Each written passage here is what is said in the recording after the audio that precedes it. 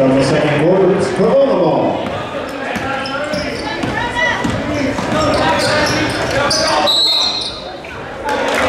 To Minnesota, aka Toronto.